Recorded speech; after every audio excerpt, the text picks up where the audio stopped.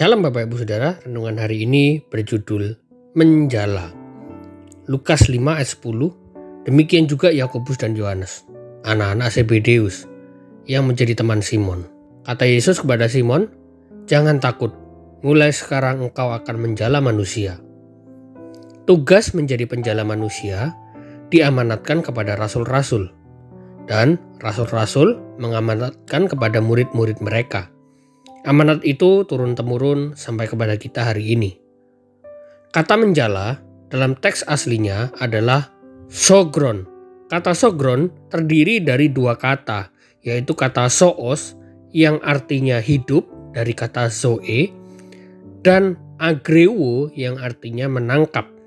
Jadi makna dari menjala adalah menangkap hidup-hidup. Siapa yang ditangkap hidup-hidup?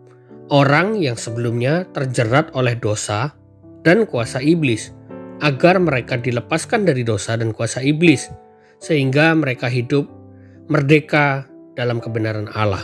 Orang yang sebelumnya ditawan oleh dosa dan ditawan oleh iblis, kini ia menjadi tawanan kebenaran.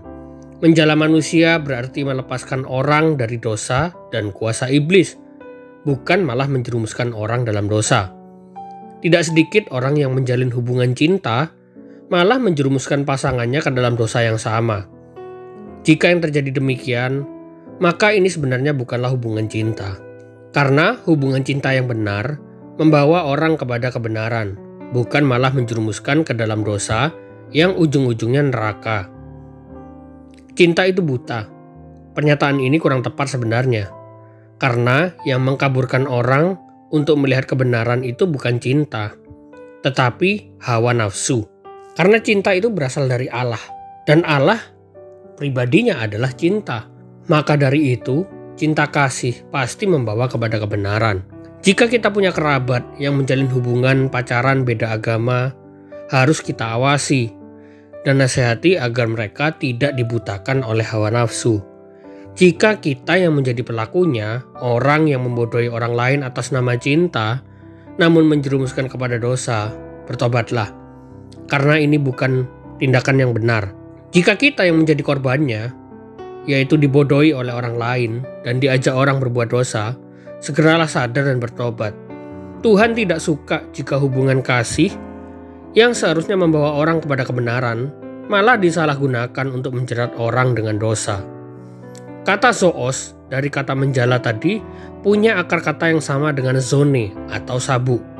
Sabuk dalam budaya zaman itu melambangkan sebuah alat untuk melindungi alat reproduksi. Secara rohani, sabuk kebenaran itu dikenakan oleh orang percaya agar berhenti memproduksi dosa dan tidak menghasilkan keturunan-keturunan yang hidup dalam dosa.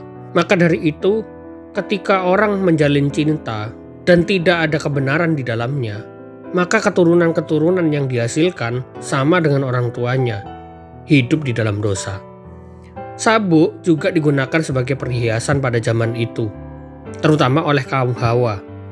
Bahkan sampai hari ini, dengan menggunakan sabuk, penampilan menjadi lebih indah. Orang yang hidupnya berikat pinggangkan kebenaran, artinya dia hidup dalam kebenaran Allah, maka hidupnya juga akan indah karena kebenaran adalah perhiasan terindah yang dikenakan oleh orang percaya. Tuhan Yesus memberkati.